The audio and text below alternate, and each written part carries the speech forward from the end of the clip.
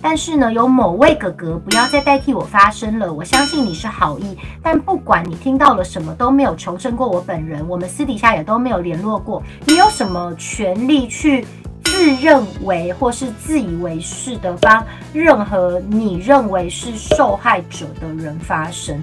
我觉得教堂哥哥就是四个字：走火入魔。你太想要流量了，你太想要被关注了。焦糖哥哥在呃黄子佼这件事情也跑出来蹭，简单说就是 Apple 他发了一个线动，然后呢焦糖哥哥他就自己帮他对号入座，说认为 Apple 就是在讲黄子佼，然后就是在骂黄子佼，然后就帮他跟记者讲这样子，然后他发文的内容是讲说。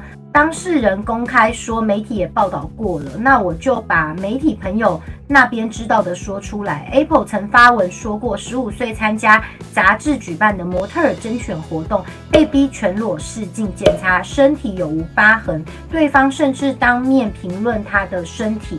然后当时试镜时，Apple 说要求他全裸的人就是黄子佼本人，他只有十五岁。然后 Apple 又发了一个线动说。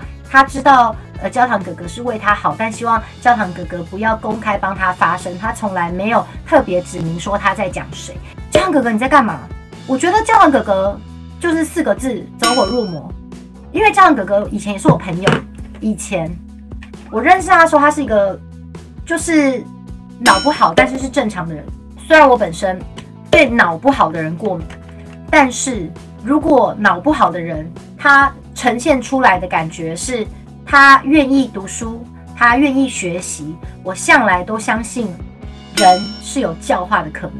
每个人只要跟我说你愿意学习，我都会有教无类的，希望能够帮助你。我就是现代的孔夫子。